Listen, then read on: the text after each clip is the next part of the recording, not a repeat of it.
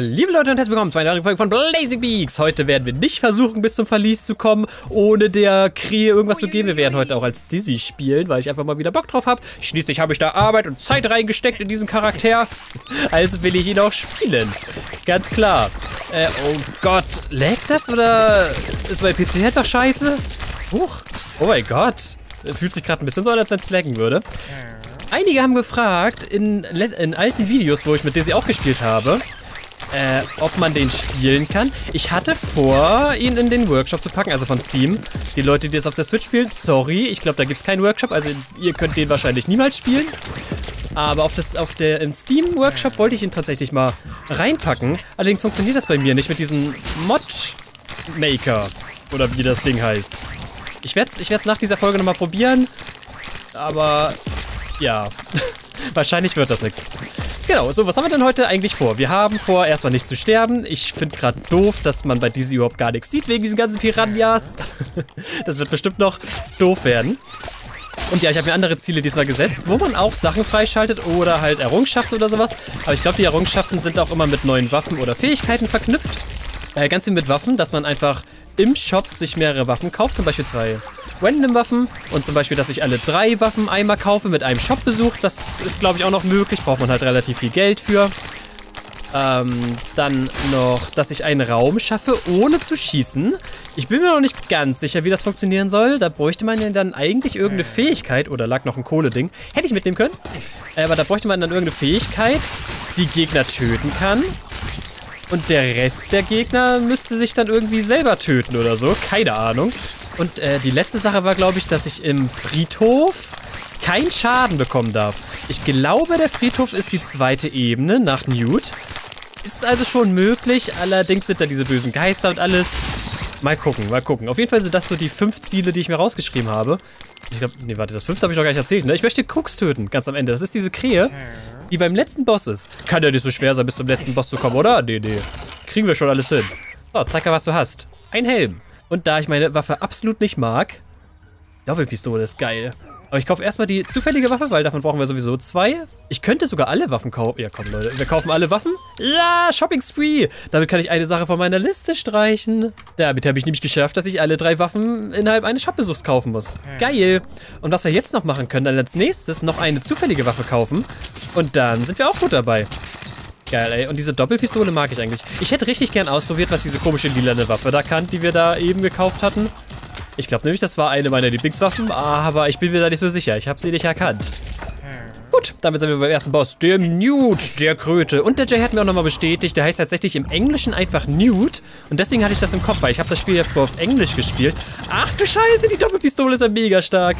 Äh, weil die deutsche Übersetzung so mega kacke war. Hat sich inzwischen alles geändert und Newt wurde auch anders gemacht und so. Aber ja, daher hatte ich den Namen im Kopf. Danke Jay, der mir das nochmal erzählt hat. Und ich glaube, jetzt sind wir im Friedhof, genau. In dieser ganzen Ebene dürfen wir keinen einzigen Damage bekommen und dann würde ich noch eine Errungenschaft freischalten. Das wäre schon ganz schön schnieke, muss ich sagen. Bin aber jetzt schon zufrieden, dass ich nicht mehr meine Piranha-Waffe habe, weil die hat wirklich sehr meine Sicht eingemindert. Keine Ahnung, wenn da so viel komisches Zeug auf dem Bildschirm rumfliegt, da komme ich gar nicht mehr klar. Und das, obwohl ich früher solche Tohu-Spiele gespielt habe. Also wer, das, wer Tohu-Spiele nicht kennt, das ist so, das sind so äh, äh, Weltraum-Shooter, wo so, wo so ganz viele, oh Gott. Oder so ein Twin-Stick-Shooter? Nee, Twin-Stick ist wieder die falsche Bezeichnung. Aber so, so ein Shooter, wo ganz viel komisches Zeug auf dich raufballert und man kann eigentlich gar nicht ausweichen und schießt aber alles kaputt. Sowas. Aber trotzdem irgendwie, ich werde alt und kann nicht mehr so viel Stuff auf dem Bildschirm sehen. Ja, was war sonst los, Leute? Die letzten vier Tage kam einfach gar kein Video mehr. Also weder Blazing Beaks noch irgendwas anderes. Uh, der Waffe verursacht mehr Schaden. Und ja, woran lag das, dass ich keine Videos gerade gemacht habe? Eh, also gestern wäre eigentlich mein Green Day Konzert gewesen. Und da das jetzt wegen Corona leider verschoben wird auf unbestimmte Zeit, musste ich erstmal für vier Tage weinen. Und deswegen konnte ich keine Videos aufnehmen. Ich musste das erstmal ein bisschen verkraften. nein, Quatsch. Also es ist auch sad, ja. Äh, nein, ich habe mich auf, mehr auf die Schule konzentriert. Da musste ich nämlich einiges nacharbeiten. Ich habe in der letzten, in den letzten zwei Wochen fünf Bücher mit Politik durchgearbeitet. Und das in zwei Wochen ist krass. Also eigentlich mache ich immer pro Woche ein Heft Wenn's, ja, ja, doch, eine, eine, ein Heft pro Woche, das ist, glaube ich, ganz cool. Aber deswegen konnte ich dann natürlich kein YouTube machen. Hätte wahrscheinlich sowieso nicht Ah, gut drauf sein können. Ich überlege gerade, weil wir jetzt im Friedhof sind und noch keine Leben verloren haben, wenn ich jetzt zum Boss gehe, dann steht die Chance sehr gut, dass ich da keine, keinen Schaden bekomme. Aber wenn ich jetzt weiter in der Ebene noch rumlaufe, dann kriege ich mehr Artefakte. Was sagen mir die Haare von Dizzy? Die Haare von Dizzy sagen, geh hier rein. Okay, okay, Haare von Dizzy haben gesprochen. Jetzt muss ich mich allerdings sputen, dass ich hier keine Leben verliere. Wahrscheinlich werde ich sowieso beim Boss Leben verlieren, weil es ein blöder Arschloch-Boss ist. Ich hasse den zweiten Boss. Das ist der schlimmste Boss von allen. Na, vielleicht zusammen mit dem vierten oder fünften Boss. Der ist auch noch sehr, sehr schlimm. Alright, also wir kriegen auf jeden Fall nochmal einen Shop. Leider nicht mit einer zufälligen Waffe, das ist ein bisschen sad. Aber wir können unsere Artefakte abgeben und kriegen hoffentlich ein paar mehr Leben. Eine Münze für jedes aufgesammelte Artefakt. Ja! Eine Münze, wenn du Schaden hattest. Nochmal? Haben wir das jetzt zweimal? Ja, das geht, Leute. Okay. I didn't knew that. Frostbiss, Kompressorkugeln, Eiskanone, alles nicht so geil. Ich finde meine Doppelkanone ganz schnieke. Hallo Böchchen, mit nur zwei Leben. Vielleicht sind wir sogar so cool und können denen auch so viel Damage machen. Und, Alter, die Doppelpistole ist mega cool. Ich mag die richtig gern. Wie seht ihr das, Leute? Wie findet ihr die Doppelpistole? Schreibt es jetzt in die Kommentare. Ja, töten, töten, töten. Nein, es langt nicht. Okay, letzte Come on. Na, oh Gott. Bitte, bitte halten Sie an. Bitte halten Sie an, sodass ich Sie töten kann. Das hat sich sogar fast gereimt. Oh mein Gott, ich habe es tatsächlich geschafft, im ganzen Friedhof keinen Schaden zu bekommen. Muss ich die Ebene jetzt noch verlassen? Oh, wahrscheinlich.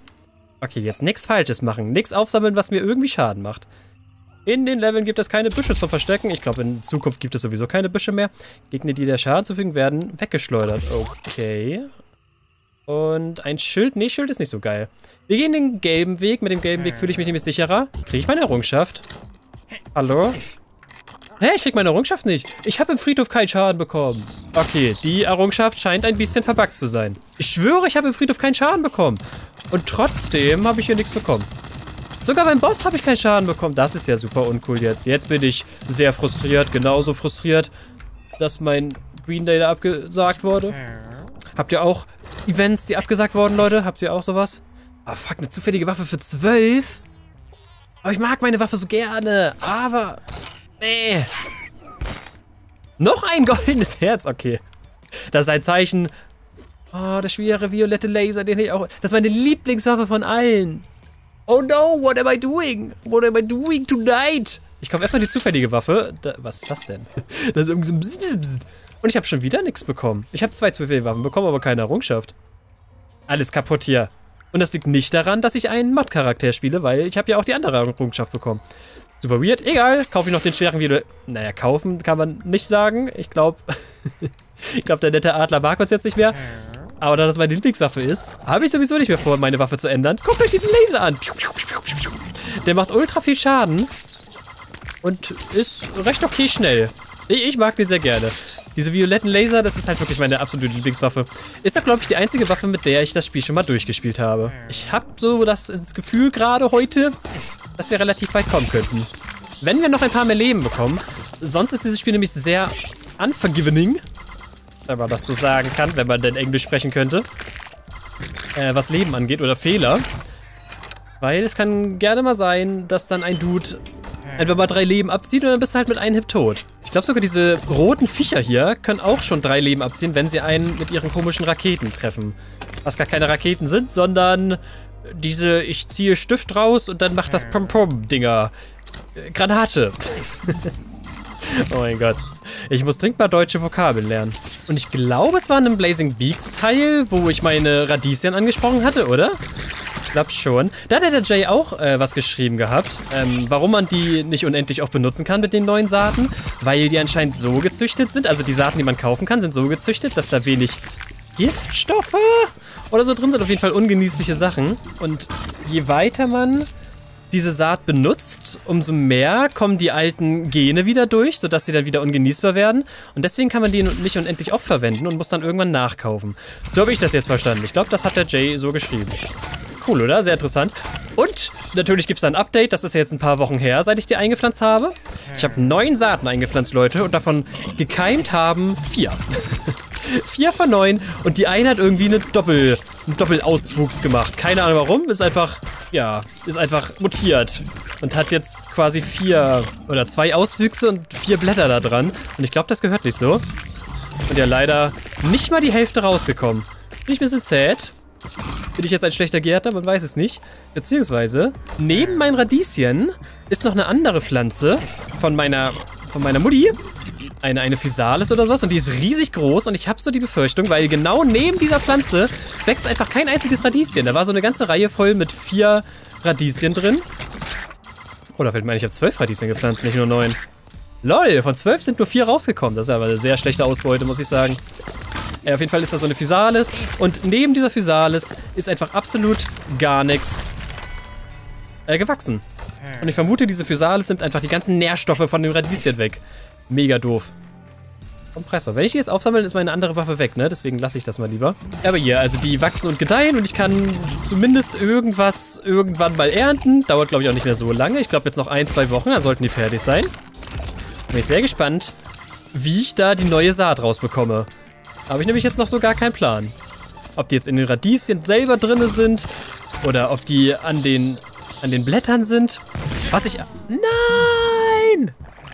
Du dummer Pinky! Ich hab's euch gesagt, Leute. Man braucht Leben für dieses Spiel. Man braucht einfach Leben. Na gut, dann sind wir hier wieder tot. Ich brauche von Anfang an Leben. Ich brauche einen Charakter, der von Anfang an mehr Leben hat, damit es hier gut wird. Dabei hatten wir schon drei goldene Herzchen. Das müsste doch lang. Jetzt ohne Witz.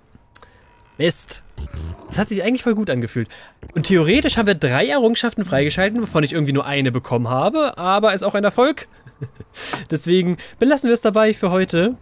Ich hoffe, ihr hattet trotzdem Spaß mit dieser Folge. Ich wollte eigentlich noch einiges erzählen, weil es wieder Radieschen, aber dann erzähle ich das dann beim nächsten Mal, ne? Ja, ja. dann danke fürs Zuschauen, liebe Leute. Bis zum nächsten Mal und tschüss.